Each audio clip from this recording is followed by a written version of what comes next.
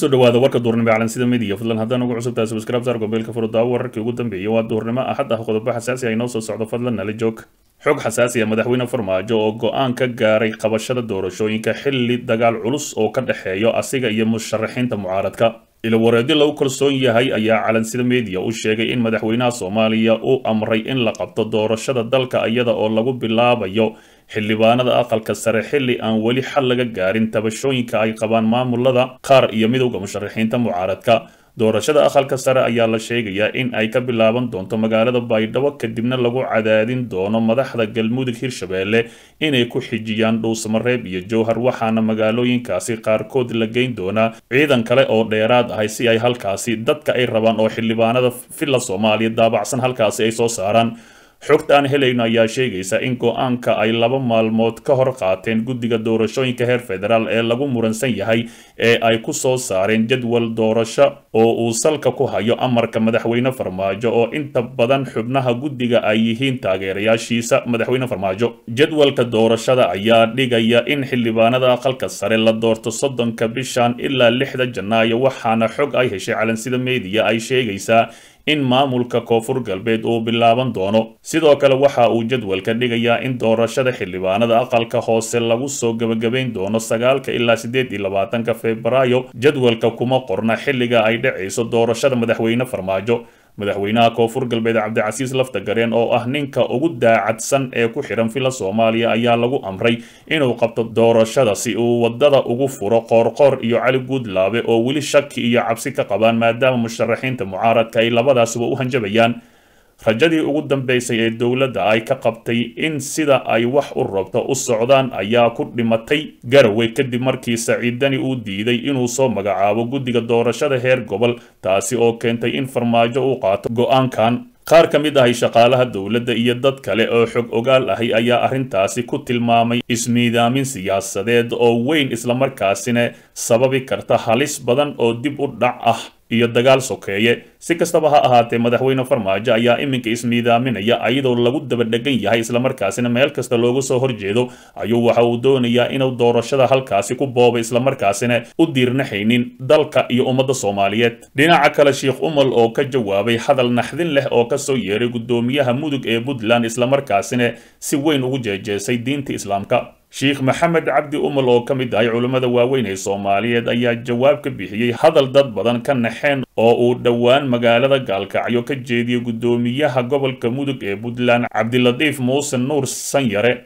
shiikha ayaa soo qaatay hadal baraha bulshada lagu baahiyey oo ka mid ahaa khudbad uu jeediyey guddoomiyaha oo eryadiisa ay ka mid ahaayeen masaajid aniga waxba iguma fadhiyo kumana tugado. Aadaankiisa idhiba masaajidka ama shabaab ayaa kala diraynaa ama waa xiraynaa ayuu yidhi. Kadib sheikh umal ayaa wax laga naxo ku tilmaamay warka ka soo yeeray mas'uulkaasi iyo dadka ugu sacbinayay wuxuuna weydiiyey haddii uusan masjidku macno ugu fadhin miyuusan islaam ahayn? ayuu yidhi. Dhinaca kale ra'iisul wasaare rooble oo kulan la qaatay ururada bulshada rayidka ahi iyo culummada ra'iisul wasaaraha xukuumadda federaalk soomaaliya maxamed xuseen rooble ayaa kulan wada tashi ahi oo ku aadan doorashooyinka la qaatay ururada bulshada rayidka ahi iyo culimaa udiinka soomaaliyeed kulankani oo lagu xoojinayay xiriirka wada shaqaynta ee ururada bulshada culimaa udiinka iyo dowladda ayaa islamarkaana looga wada tashanayay tallaabooyinka ku aadan sidii ay dalka uga dhici lahayd doorasho nabdoon ra'iisul wasaaraha ayaa bulshada rayidka ah iyo culimaa udiinka warbixin faahfaahsan ka siiyey dadaalada xukuumadda ee ku aadan qabsoomidda doorashada. Xasiloon isagoona sheegay in booqashooyinkii uu ku tagay koonfur galbeed iyo puntland iyo galmudug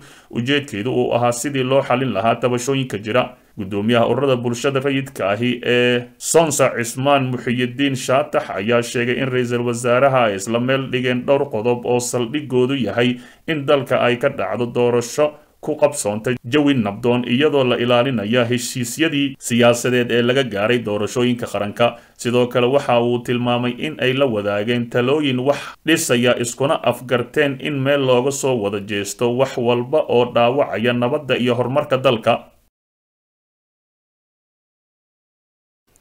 Xog xasaasiya musharaxiinta mucaaradka uu hanjabay madaxweyne farmaajo islamarkaasina ka dalbaday inuu shacabka soomaalida uu caburinaya raaligelin siiyo iyo maalin dhaweeda ciidamada dharcadka ahay ee rasaasta ku furay shacab banaanbaxayay golaha midooda musharaxiinta madaxweynaha soomaaliya ayaa war-saxaafadeed ka soo saaray. Kulan ay ku yeesheen magaalada muqdisho waxayna si adag u cambaareeyeen tallaabadii doraad lagu rasaasayay dad shacab ahay oo dhigayay banaanbaxyo ka dhan ah madaxweyne farmaajo. Golaha midooda musharaxiinta mucaaradka wuxuu si kulul u cambaareeyey falkii foosha xumaa ee doraad ciidamada ka tirsan booliiska iyo nabad sugidda ay ku xabadeeyeen dhalinyaro si nabad ahay u dhigayay mudaharaadyo ra'yigoodana ku cabirayay ayaa lagu yiri qoraal ka soo baxay golaha midooda musharaxiinta mucaaradka. War-saxaafadeedka ayaa intaasi ku sii daray waxay shacabka soomaaliyeed daawadeen dhalinyaro si nabad ahay u mudaharaadayay iyo askari dharcad ahi oo xabado ku ridayay gabdho ka mid ahaa dibadbaxayaashii iyagoo kadib hablihii si qasab ahi xabsiga loo taxaabay islamarkaasina xabsiga la dhigay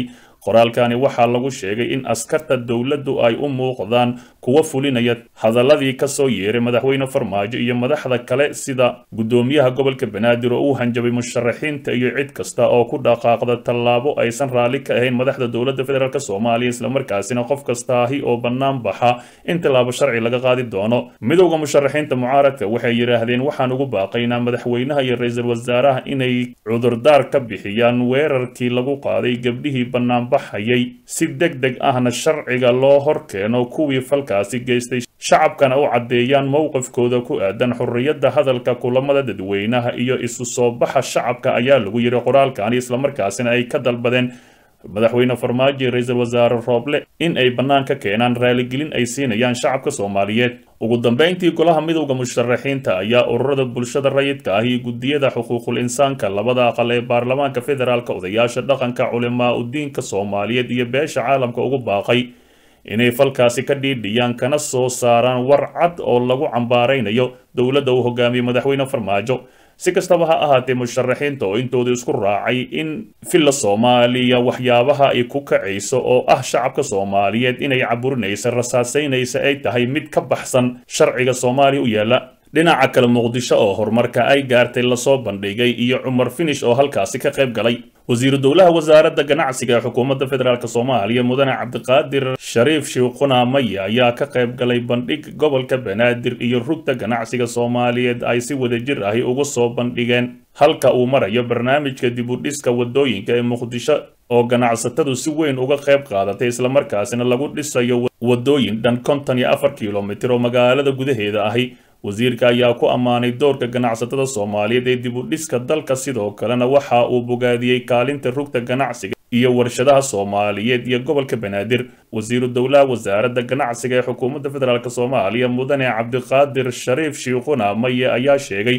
in tallaabadani ay muhiim u tahay dhaqdhaqaaqa ganacsiga islamarkaasina uu ganacsatada ku boorinayo inay si wadajir ahi uga qayb qaataan dhismaha waddooyinka dalka soomaaliya dhinaca kale guddoomiyaha golaha shacabka oo kulamo ka bilaabay magaalada garowe kadib markii shalay u gaaray. Guddoomiyaha golaha shacabka ee baarlamaanka soomaaliya maxamed mursal sheekh cabdiraxmaan oo ku sugan magaalada garowe ee xarunta gobolka nugaal ayaa halkaasi ka bilaabay kulamo kala duwan. Guddoomiyaha golaha shacabka federaalk soomaaliya waxa uu xalay la kulmay madaxweyne ku-xigeenka dowlad goboleedka puntland axmed cilmi cismaan karaash iyaga oo ka wada hadlay arrimo dhowr ahi wafdiga guddoomiyaha golaha shacabka ayaa waxa ay garowe u tageen ka qaybgalka shirweynaha dood ahi